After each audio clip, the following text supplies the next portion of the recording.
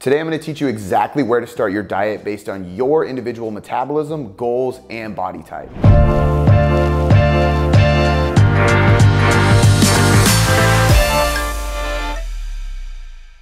Before we get into the video, do me a favor, like this video if it helps you out. Make sure you subscribe to the channel and hit the little bell so you get notified every single time we drop a new video. Before we get into the actual topic of discussion, we have to determine a few things first. So before we learn how to set up your specific diet, we have to understand why your specific diet might be different than my specific diet. Now, obviously there are certain things that come into play, such as your actual goals, how much weight you have to lose, if you are trying to recomp versus just lose weight. There's a lot in this. But the thing I wanna focus on specifically today is the individual differences of metabolism. Now, the metabolism is extremely dynamic. And what I mean by that is it's constantly adapting and from person to person to person, it's extremely different. And this presents an issue when we are trying to calculate or formulate a good diet because we know that everyone has an individual difference. So going to an online calculator, punching in your stats for your age, weight, and height, and expecting that caloric intake to be perfect for you is a long shot. So when we wanna get more specific, we have to consider things like metabolic phenotypes. And that's the first thing we're gonna discuss today. Metabolic phenotypes in a really simple description is just a way that we can categorize different types of metabolisms. There are thrifty metabolisms and there are spendthrift metabolisms. There's a lot of good research on this and I'm gonna link some of those sites and research studies in the description of this. So if you wanna dive deeper into metabolic phenotypes specifically, you can do so there. But for the sake of this video, we're gonna just categorize these two as pretty simple.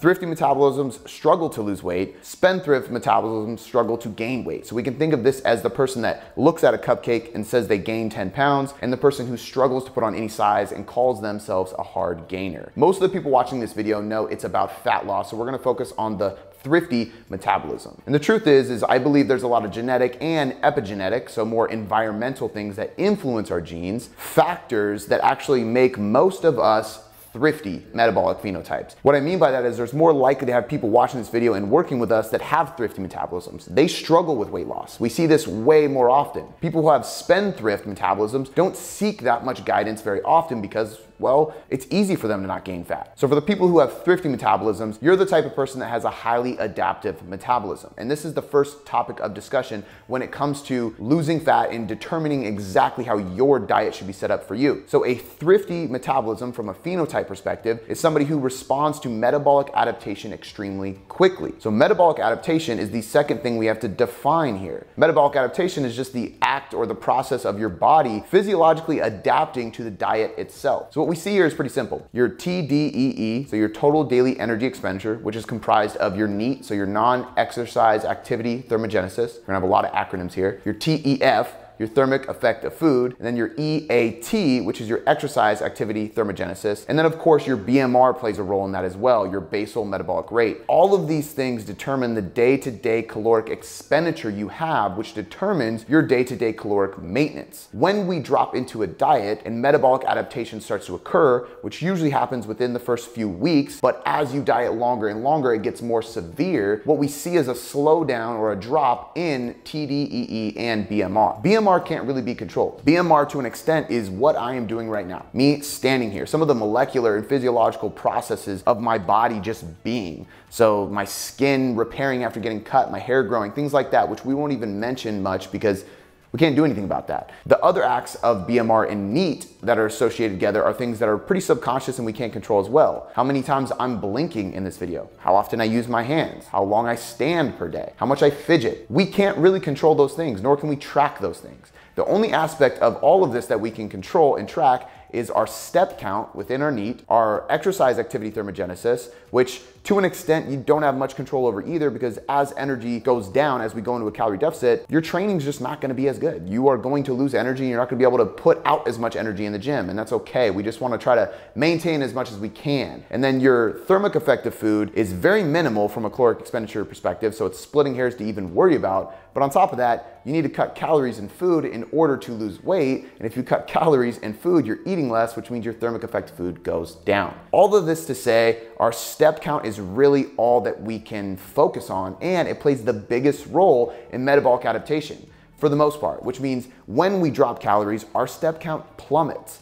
And we can control that by tracking our step count before we get into the diet and monitoring it and adjusting it as the diet progresses to, in a way, compensate for these metabolic compensations happening. There's two last factors involved in metabolic adaptation.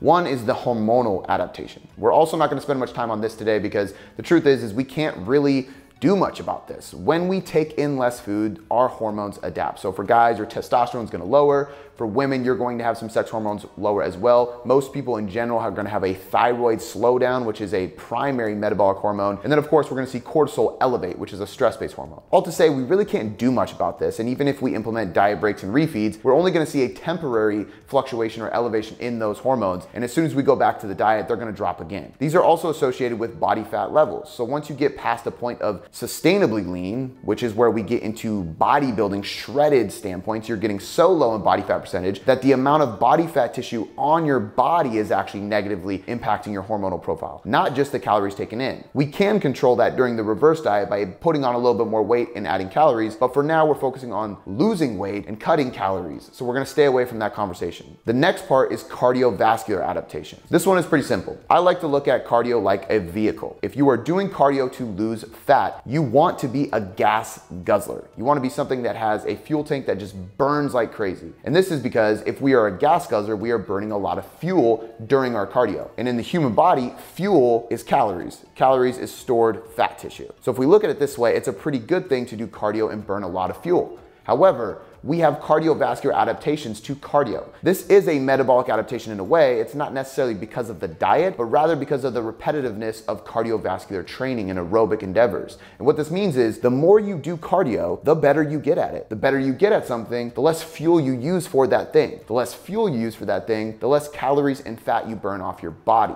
And this is why you can't just endlessly do the same exact cardio endeavor and expect to continually or linearly see results. There is diminishing returns. And because that, we try to save cardio for the tail end of the diet, which again, we'll get to later in the video when we break down the last final stages of your diet protocol. Now that we know what the phenotypes are, what metabolic adaptation is comprised of, and how hormones and cardio and all these things are influenced within metabolic adaptation, we need to come back to those phenotypes and understand the main takeaway from this research on metabolic phenotypes. And that's that everybody's different. And because everybody's different, they are going to respond to metabolic adaptation differently and rather quickly or slowly. And what this means is you might have a very adaptive response or a non-adaptive response. And I'd have you consider that even though adaptive response sounds like it'd be a great thing, you adapt fat loss, it's actually a really bad thing. You don't want to adapt. This goes back to the gas guzzler thing. If you drop your calories and you are a thrifty individual, you will adapt rather quickly and struggle to lose weight because your body compensates so quickly. And what that means is that metabolic adaptations happens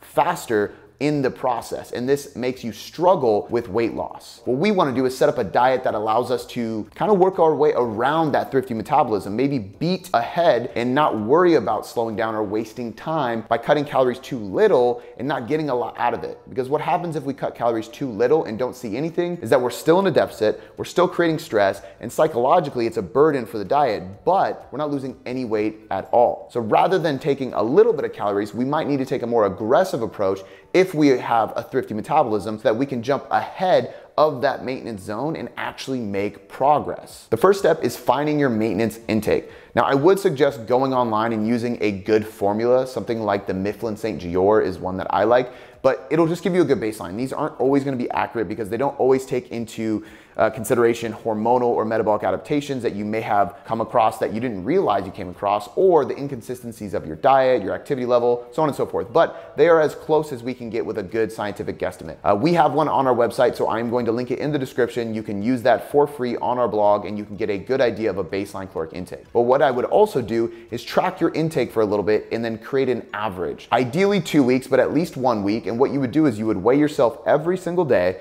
and you would measure your calories every single day as well. And at the end of the week, you're gonna take your average weight and your average calories. And if you have two weeks, it's even more accurate. But what you will find is that your weekly caloric intake is gonna break down to an average number and your weekly average weight is gonna break down to an average number. And what it takes to maintain that weight is gonna be based on your weekly caloric average. If you are not dieting, right now. If you are maintaining your weight and you are tracking your calories, you will find the perfect number and it's more accurate than any formula online because, well, it's what you're literally doing as long as you are being accurate with your intake in your food logs. The next thing to know with your maintenance intake is that it's not a set number. So although we will finish this formula or this tracking process and have one number, say 2,000 calories for your maintenance intake. Maintenance is a moving range. Every day we have different sleep patterns, different training levels, different recovery demands, different stressors, different food intake. So the thermic effect of food, the exercise activity thermogenesis, our NEAT, all these things fluctuate and change. And based on that, our maintenance is gonna shift back and forth. So I like to look at it as a moving target rather than a dead set bullseye. And what that means is that if you had 2,000 calories for your maintenance, it is more than likely somewhere between 1,800 to 2,200. That's not to say that there's always a 400 calorie range around that number. Depending on having a thrifty or spendthrift metabolism, it could be 18 to 2,000 or it could be 2,000 to 2,400. It's very, very individual. However, the point is nothing is exact and that's the main take home point I want you to take away from tracking and understanding your maintenance intake. Now we need to create a calorie deficit. One mistake I see a lot of people make, and this is what really prompted us to make this video and talk about thrifty metabolisms is that people want to take a very slow and conservative approach. And the reason they want to do that is justified. Research shows that a slower weight loss progress is actually a much better process. The reason is because you will maintain health, hormones, stray off metabolic adaptation for longer, and you will maintain more muscle tissue and training performance in the gym for a longer period of time or throughout the whole process. Most of us want to lose fat, not just weight, which means that we want to maintain some health and we definitely want to maintain our muscle tissue the entire process of the diet. So that when we get done losing fat, we still have that muscle tissue intact. But the problem with this is if we start too little, we start with too much of a conservative approach or a slow and steady approach, we don't break through that maintenance range I talked about. So for example, if you want to pull 5 to 10% of your calories, which is a common caloric adjustment that I would recommend somebody make when they hit a plateau. If you take that away at the beginning when you're at maintenance, you might have gone from 2000 to just 1900 to 1800, which as I explained before is still in that maintenance range. So nothing happens. Your body adapts very quickly. You don't lose any weight. However, you notice psychologically and probably physically that you're eating less food. So your energy might go down, your steps might even go down, but psychologically speaking, you are dieting. And a big component of diet fatigue, which is the act of really just getting sick and tired of dieting over time is the psychological burden of cutting calories. So you've shot yourself in the foot by not losing any weight, but cutting calories from a psychological perspective. And the thing I wanna share with you to back this up is that most research uses pretty large deficits. So for example, the Matador study, it's a very popular study where they dieted for two weeks on, two weeks off, and then there was another group that just dieted 16 weeks straight. So we had two groups. One was intermittent calorically restricting, which means going back and forth between maintenance and diet phases. And one group was just dieting all the way through. But they used a 33% deficit. 33% calorie reduction. Another example is the ICECAP trial, which is from Jackson Peos. And we actually interviewed him and we have a video on diet breaks in our YouTube channel. So you can check that out on our page. And in their study, they also had about a 20% calorie deficit for their people. I believe it was about a 500 to 600 calorie deficit per day. And it depended on the individual and their current maintenance intake and weight, but it boiled down to about 20% when I did the calculation. And then last but not least, another person that was interviewed in that same video, Dr. Bill Campbell, did a refeed study with five days of dieting, two days of refeeding. And the non-refeed group was in a 25% deficit and the refeed group was in a 35% deficit. All this to say that anywhere between 20 to 35% of a deficit, dropping calories is very common. So that's like being at that 2000 calories and going right to 1500, which sounds like a big number to people. But it's just to show you that when we look at research and scientific ways to lose fat, they are creating pretty large deficits right at the beginning. And that's why they are able to see significant results in such a short period of time. So the reason people extend diets for a really long period of time and they get very frustrated without seeing results is often because they have a thrifty metabolism and they don't break through that maintenance range. All of this to say, when we are creating our calorie deficit, do not take too conservative approach. Try to aim for at least 15% of calories, and I wouldn't recommend going over 30% most of the time, just because it is a very difficult process to adhere to when we cut too many calories. But if we stay between that 15 to 30% for our first adjustment from maintenance calories, we're gonna set ourselves up for much more success. The next question on most people's mind is how do we determine our macronutrient intake? Now the truth is, is I could spend two hours talking about this. In fact, I have a whole video series talking about calories, macros, meal timing, everything like that. So we'll link that in the description. You can check out those videos as well. And we also have a free ebook that goes over macros. But in general, what I am going to point out is that anybody watching this video is probably gonna wanna be on a high protein diet. If you're watching this video, I gotta expect that you are strength training and you are interested in losing fat and or building muscle. Therefore, you're going to need a high protein intake. High protein intakes are also associated with a lot of other health benefits and longevity. So I would recommend getting about 0.8 grams per pound all the way up to 1.5 grams per pound. 1.5 grams per pound is a lot of protein. That's like somebody at 200 pounds eating 250 grams of protein, which isn't that crazy in the bodybuilding space. It's also not necessary for muscle growth beyond one gram per pound, we're not seeing much benefit for muscle growth. However, there's a lot of research that actually may show that we preserve more muscle tissue, we create more of a satiety effect because protein's the highest satiating nutrient from macros, making the diet for fat loss easier to adhere to. And there's even some research that showed more fat loss in the group that actually had higher protein. Now, the thermic effect of food is much higher, but we don't know that that would actually contribute to that many calories burned. So some of the researchers I've interviewed actually don't know why this is the case, but nonetheless, it does happen and it's been repeated. So for the most part, my, my simple recommendation after you create your calories, focus on a high protein diet. For carbs and fats, there's three simple steps that you need to focus on. Number one, only track them if your adherence is gonna be high. Meaning if you track your calories and protein and that's all you can handle, stick with that. That's gonna be enough. Number two, choose a higher ratio of whatever one you're gonna adhere best to and suits your training or lifestyle. So if you're not that active or you really crave fats, have a high fat, low carb diet. You're still gonna see great success. Now, on the contrary, if you are training very hard, you're interested in building muscle and you are very active, then you want to focus on a high carb, low fat approach. And the third thing to mention here is the more advanced you get, the more specific you need to be. So even if you love fats, but you're a high volume bodybuilder trying to get shredded, I'm just gonna go ahead and say it. You should probably just bite the bullet, lower your fats, increase your carbs. It's gonna be much more beneficial. And if your goals are that specific, I imagine you're serious enough to lean towards optimization versus what is more flexible and comfortable to you. Now, the last thing to cover in this video is cardio and diet adjustments as the diet in the fat loss phase progresses.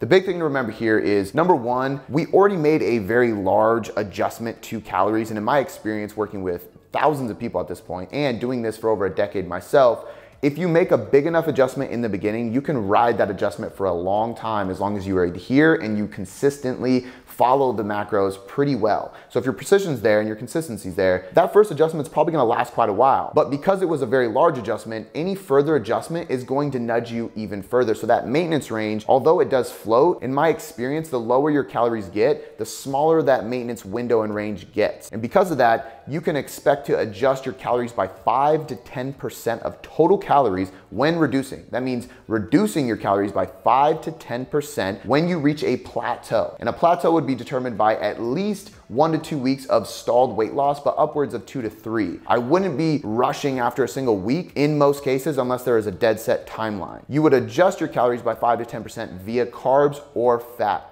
Most of the time, if training is very serious and I can pull from fats without having any serious hormonal issues or health problems, I'm gonna pull from fats before carbs, but at a certain point, you have no choice to pull from both. Now, when it comes to cardio, cardio is safe for the end. So I encourage everybody to strength train, follow their diet, use the macros and the calories as your tool for getting the weight loss because it's a much more accurate and metric tool to use, whereas cardio can fluctuate based on your metabolic adaptation and your energy levels, as well as the equipment you're using. So it's not nearly as accurate. Even the step counters and trackers we use, they're not that accurate either. So it's best to focus on your diet and leave that as your priority tool and tracking metric for the fat loss to occur. But when you do add formal cardio on top of your steps and training, it's best to add low intensity cardio. The reason for this is because by the time you're finally adding this cardio, you're probably already pretty fatigued. If you add high intensity intervals, it is going to crush your nervous system even more, and that's gonna make your strength training harder. So add low intensity cardio at about two to three days per week. I suggest at a 30 to 40 minute increment. The reason for that is because you're gonna burn more calories and you wanna just get in and get it done. You only need to add two or three days and you'll be fine for a while. But the point is, is we're doing this at the tail end of our diet, which means we only have six weeks or less, let's say, in our fat loss phase. And the reason I usually wait till then is because again, your body adapts fairly quickly. So if you add it too soon and then your body adapts, now you're stuck doing cardio for weeks and weeks and weeks on end when it's not doing that much for you. I'd rather get as much as I can out of NEAT and macros and calories because those are gonna be more lifestyle friendly and easy to adhere to, and then add cardio later on in the diet. All right, guys, so I hope this taught you a lot about the individual differences of metabolisms, really, in person to person, how we need to shift and adapt the diet to the specific individual, their individual metabolism, and their goals at hand. Most people will watch this and then wonder, well, what do we do after the diet? Does, do these things influence the reverse diet?